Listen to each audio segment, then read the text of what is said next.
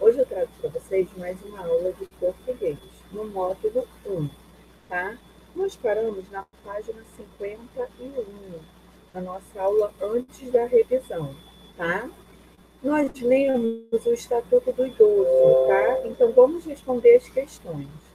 Com que finalidade o Estatuto do Idoso foi produzido?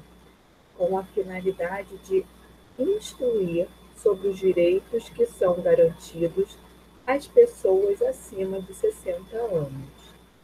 A quem esse estatuto é destinado? A toda a sociedade. Onde ele foi oficialmente publicado? No site do governo federal. Em que outros veículos podemos encontrar o texto integral desse estatuto? Em livros, em sites, tá? O tipo de registro empregado no estatuto é formal? Esse tipo de registro está adequado? Sim, pois é um documento que garante os direitos dos idosos, tá? Por isso que tem que ser um, tem que usar a língua formal, é um documento.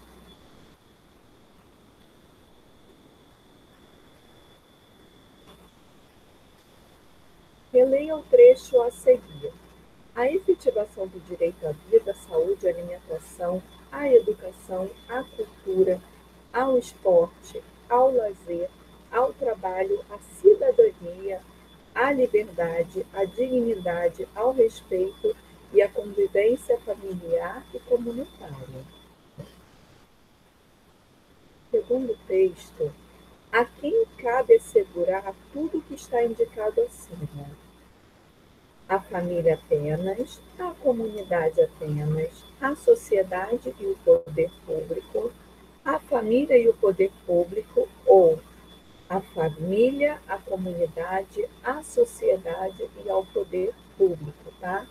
Então, cabe a todos assegurar esses direitos. Quem são os responsáveis por prevenir a ameaça ou violação aos direitos dos idosos? Todos. Em relação ao direito à vida, qual é a obrigação do Estado? Garantir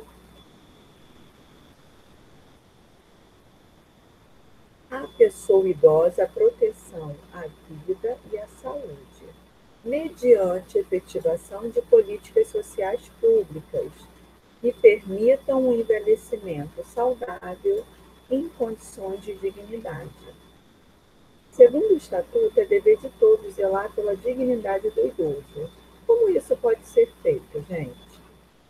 Eu tenho que cuidar para que esse idoso ele não seja submetido a um tratamento desumano, violento, tá? constrangedor.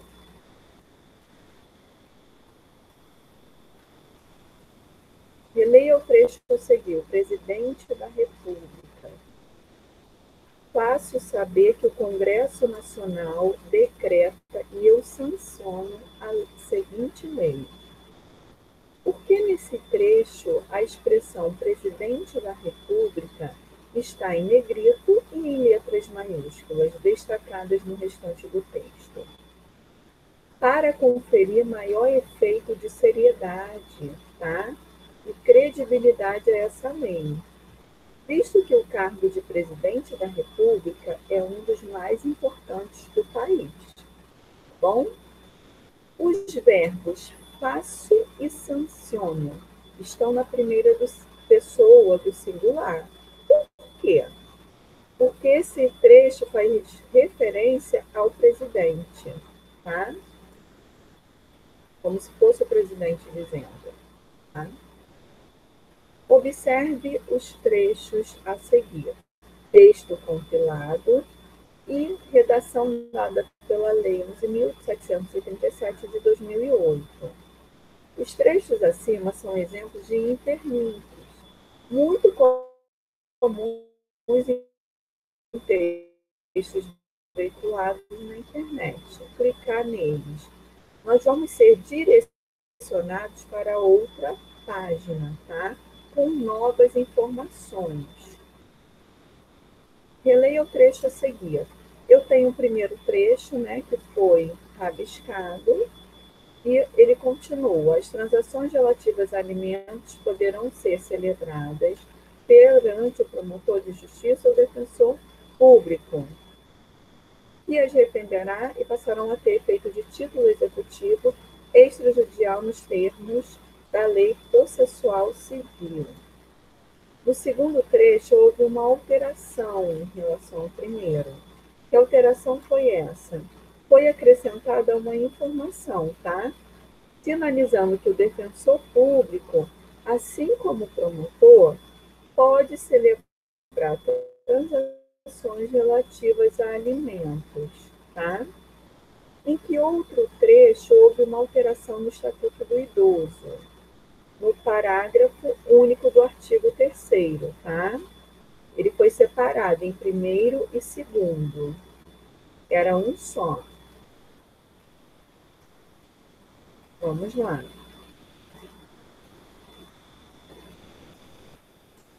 Veja a seguir algumas das partes em que se subdividem o trecho do Estatuto do Idoso lido.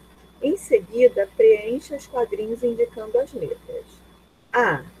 Artigo é a unidade básica da lei, apresentando numeral, numeração ordinal do primeiro e do segundo, do primeiro ao nono artigo, e cardinal do 10 em diante. Então, do primeiro até o nono, eu leio em ordinais, primeiro, segundo, terceiro.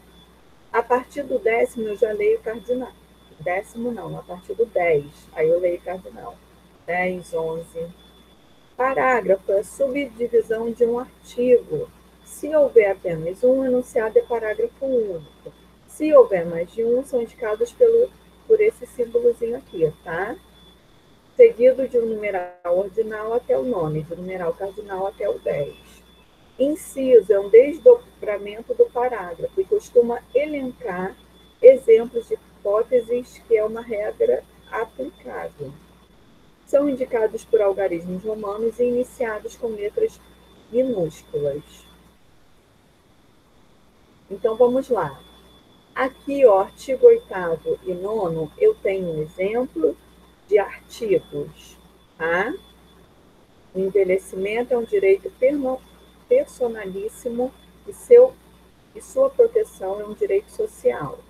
É obrigação do Estado, exemplos de artigos. Já que o segundo é o exemplo de um parágrafo, tá? Esse aqui, ó. O direito à liberdade compreende, entre outros, os seguintes aspectos. E o C é o inciso, tá? É o desdobramento desse parágrafo, tá bom? Agora vamos à página 55.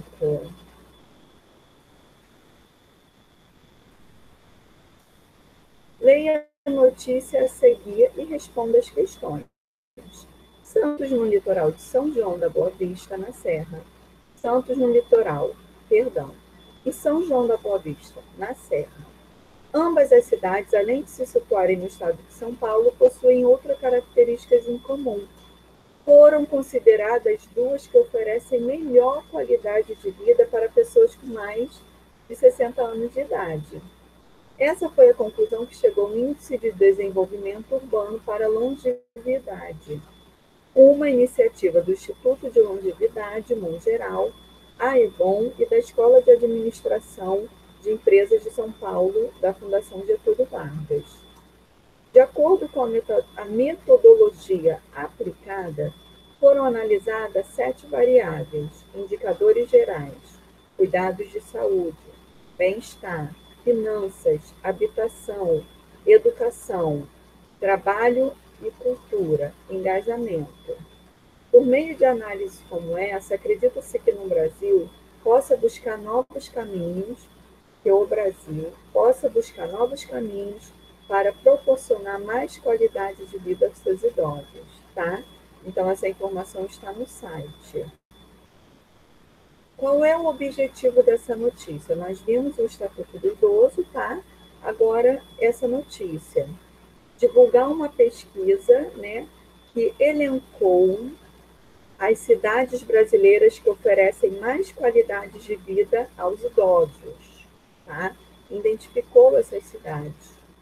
Quais cidades brasileiras ocuparam o topo da lista? A gente viu Santos e São João da Boa Vista. Tá? Além da criação de um ranking das cidades, que contribuição indireta para a qualidade de vida dos idosos uma pesquisa como essa proporciona, gente?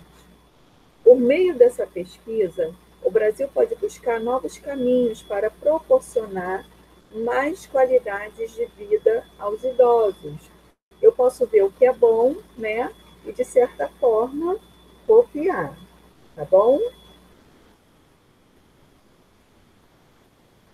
Página 56. Releia o trecho abaixo e observe a forma verbal em destaque. Por meio de análise como essa, acredita-se que o Brasil possa buscar novos caminhos para proporcionar mais qualidade de vida aos seus idosos. É possível saber quem acredita que o Brasil possa buscar novos caminhos para proporcionar mais qualidade de vida? Não, tá? pois a notícia não menciona quem pratica essa ação. Em que pessoa está flexionado o verbo acreditar? Ó, acredita-se na terceira pessoa do singular. Que palavra acompanha esse verbo? Ó, o ser, a palavrinha ser, tá? Então, quando a gente vê o verbo na terceira pessoa do singular mais essa partícula ser, significa que o sujeito é indeterminado, tá? A gente não consegue esclarecer quem praticou a ação, tá bom? Vamos seguir, página 57. Oração sem sujeito. No site Instituto Mundial Geral org ao ranking informações sobre as 498 cidades analisadas. A palavra em destaque, a, é uma forma do verbo tá? Nesse contexto, essa forma verbal tem o mesmo sentido de existir. Em que pessoa e número está a forma verbal em destaque no trecho? Na terceira pessoa do singular, tá? É possível atribuir a ação dessa forma verbal a alguém nesse contexto? Não, tá? Quando o predicado de uma oração não se relaciona a nenhum ser, ou seja, a oração é constituída apenas de predicado, temos uma oração sem sujeito, tá? E nessas orações a gente usa os verbos impessoais, que é o verbo haver, no sentido de existir. Por exemplo, há três coisas de que os idosos gostam: dançar, conversar e rir. Havia na biblioteca uma seção com os livros preferidos do vovô, o verbo haver no sentido de existir, tá? Quando os verbos indicam fenômeno da natureza, também vamos ter uma oração sem sujeito. Nevou no Rio Grande do Sul. Faz frio intenso no inverno russo. Verbo haver, fazer ir, quando indica um tempo decorrido. Há 50 anos meu, meus avós se casaram. Faz dois anos que Dona Diana mudou-se. Vai para seis meses que seu Eduardo terminou a faculdade. Também de coração sem sujeito. E quando eu tenho o verbo ser, indicando tempo, tá? Era muito tarde quando Marcela chegou da festa, nunca é cedo demais para investir em um sonho. Tá bom? Então, dessa forma, eu vou encerrar essa aula por aqui. Agradeço mais uma vez pela atenção. Até a próxima. Tchau, tchau.